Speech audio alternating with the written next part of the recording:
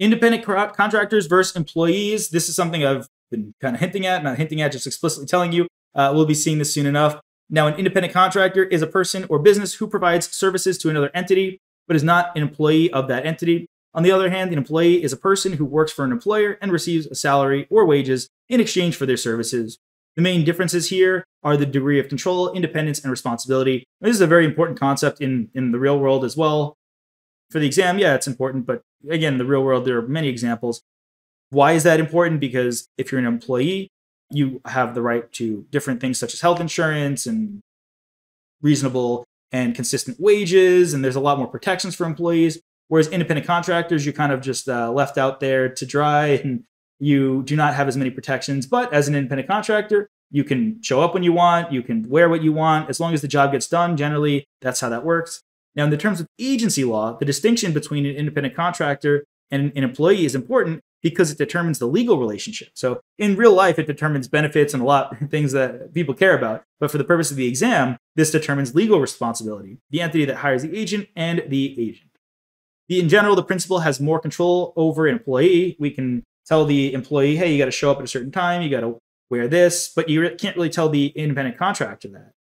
And this goes off a lot of precedent. So it's a lot harder to say that someone's an independent contractor if I pay them to show up at my accounting firm nine to five, five days a week, and I tell them you have to use Excel, you have to do this, you have to communicate with the client doing this to, to argue that that would be an independent contractor wouldn't really hold up in, in court. Whereas, you know, if I have someone who, a delivery driver who picks up packages for me once a week and that's the only time I see them, I probably couldn't argue that they're an employee because uh, they're not really acting in the manner that an employee would. So, in general, the principal has more control over an employee and is therefore more likely to be held responsible for the actions, whereas an independent contractor has more independence and is usually held responsible for their own actions. Now, for example, if an employee causes harm to a third party while performing their job duties, the employer may be held liable under that respondeat superior doctrine. However, if an independent contractor causes harm while performing services, the principal may not be held liable unless they were directly involved in the harm or negligent in hiring the contractor. We see here why Uber, Lyft, all of them would not want to classify their drivers as employees because A, they would be a lot of benefits they'd have to pay out, they'd have to do workers' comp, they'd have to do all these other things. That's just the benefits and all that. But liability wise, also, Uber and Lyft would be a lot more responsible for all the accidents that happen. I mean, you're talking driving cars everywhere. That's going to result in you know, a decent amount of accidents. However, if these drivers are independent contractors, then Uber and Lyft have a lot less responsibility in terms of the benefits they have to offer them, a lot less responsibility in terms of legal repercussions and liability, all that. So we, we see the differences there. Now, as a person, you may want to be an employee, you may not want to be an employee. It depends on your own personal situation. So one's not better than the other. It really just depends on the specific circumstances and each party what they want. Maybe both parties want the status to be independent contractor, and that's fine. But also, the courts could disagree. Even if both of you, if the employer and the independent contractor want to be an independent contractor, the courts may rule that no, you're actually an employee. So that's just something to note for the courts. here are some factors to consider. Uh, again, if uh, you're showing up, you have to wear a certain hat. You have to wear a certain, you know, you're showing up to uh, Burger King, Wendy's, McDonald's, something like that. You have to wear a hat. You have to show up a certain time. You have to say certain phrases. You have to do certain things. That's probably going to make you an employee because they have a lot more control over you. Whereas if you are uh, just picking up food from the warehouse and delivering it to the physical restaurant, that may be an independent contractor. You can do whatever you want. You can say whatever you want. You can just act however you want, differences, and we'll talk about these a lot more in depth here. But first off, we see the level of control. The level of control the principal has over the work of the agent. An employee is usually subject to more direct supervision and control by the employer, while an independent contractor has more control over how they perform their services. Equipment and tools, this is another big one. An independent contractor usually provides their own equipment and tools, such as Uber and Lyft, they provide their own car, while an employee is usually provided with them by the employer. Now, Uber and Lyft drivers, they they're driving cars. I, believe they are. I'm not an expert here. I'm just giving you examples. I believe they are sometimes sent a phone, or maybe all the times by those companies. However, if you think about it, what is the more significant equipment and tools? That's probably the car, not the phone that costs a couple hundred dollars compared to the car that costs a couple thousand dollars. Payment, an independent contractor is typically paid on a per project or per hour basis, while an employee is paid a regular salary or hour, hourly wage. Now, are you going to see a lot of questions where you have to determine if someone's an independent contractor or an employee? You may see it, you may not. It may be an indirect way of answering a question. Again, if someone's an independent contractor, this is a way for you to see question asking about who's liable. And if it's an independent contractor, probably that independent contractor will not be held liable. So it's important in direct ways and indirect ways, and just kind of different ways you'd see. Now, benefits and taxes. Employees are typically provided with benefits such as health insurance and paid time off, and the employer withholds taxes from their paycheck.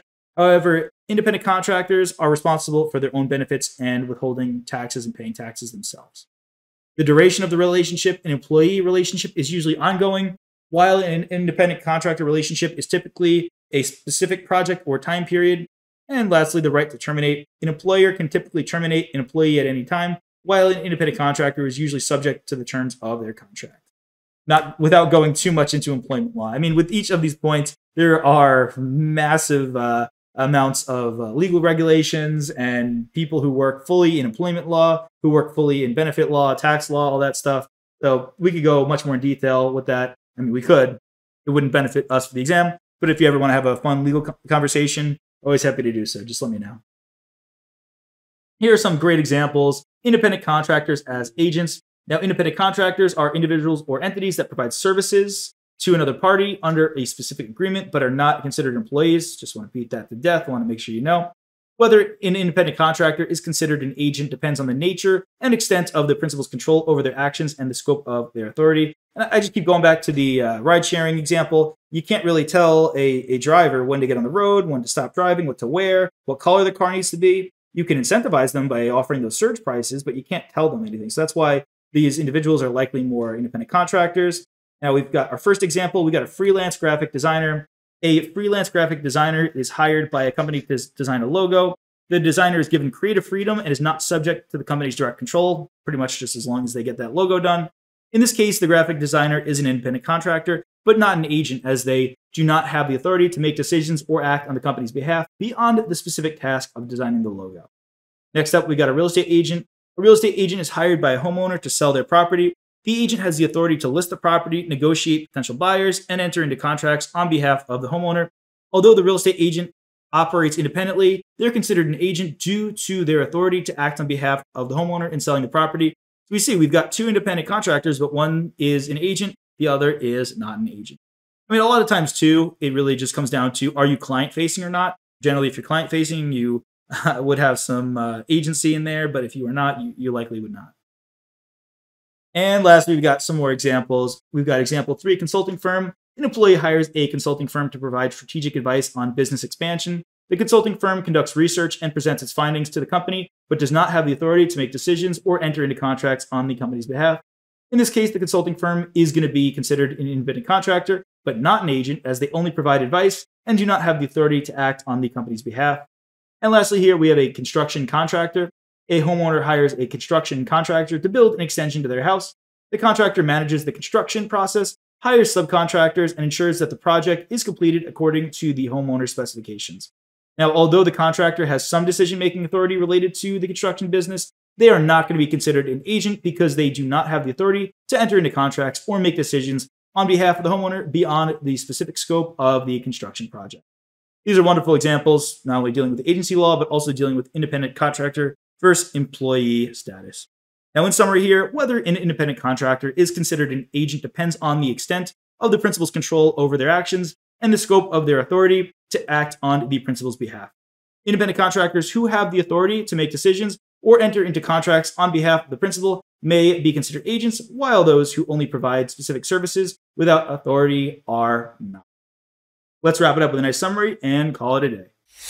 Hey there! Are you ready to not only pass your CPA exams, but truly understand and enjoy the material while studying? I know it seems impossible, right? Especially to enjoy the material? We'll do it together. Tap into the power of CPA.examprep.ai, where we've got personalized quizzes, multiple choice questions, memorization guides, flashcards, simulations, all tailored to your learning. Our adaptive study planning puts you on the fastest path to success and lifts you back up if you fall behind. Avoid wasting your precious time and money attempting an exam with a low chance of passing, because who wants that? We want to get you through this process as quick as possible. Our exam readiness prediction lets you walk in with confidence, knowing that you're prepared for success on exam day. Thankfully, there's no payment method needed to get started. So why don't you come join us? Visit cpa.examprep.ai and let's achieve your exam success together.